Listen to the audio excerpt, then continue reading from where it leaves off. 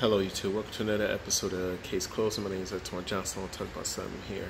When I woke up today, which many Americans probably did also, is that the Iran people wanted to send out an arrest warrant for Donald Trump. And the very first thing I told myself is that we have COVID going on. We have these protests going on. We're trying to get the police thing situated. We're trying to get the economy back up. We're trying to get all these things together.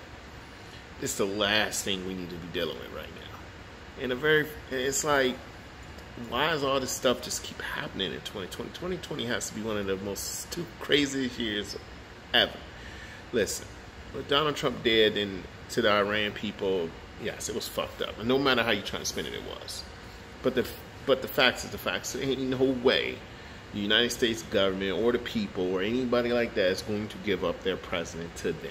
It's never going to happen. That's why i woke up and i was like i mean what am i looking at here I mean, is this some weird bullshit or something like that? And even if he's not president towards the end of the year, it still ain't going to happen.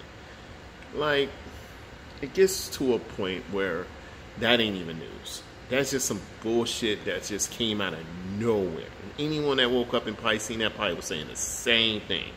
Like, what is this? And I see a lot of people, a lot of hate. Some people saying, nah, give them up, give them up, give them up. Y'all can have them, y'all can have them. And then a lot of people are saying, nah, nah, let, nah, nah, nah, they want to do this, they want to do that, let's go to war with them and this and that. It's easy to say that when you're sitting behind a computer, but sending your young son or your kids out there to, for a war that will be pointless and stupid right now. Like, no, no, no. People are being weird about a lot of things, and this is something that we can totally easily avoid by just not even focusing on that bullshit because it's stupid. What we need to focus on is trying to get every the economy back up, and what we need to do is try to get these people back to work and everything like that. If we ain't doing that, then I don't know what the fuck we're doing.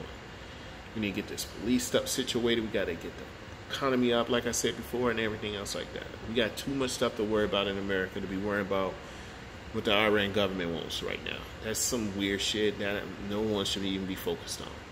But I had to make a video about it because it did happen when I woke up. I know I'm commenting on it very, very late but I just didn't get around to it. But it'll never happen. Have a good day, America.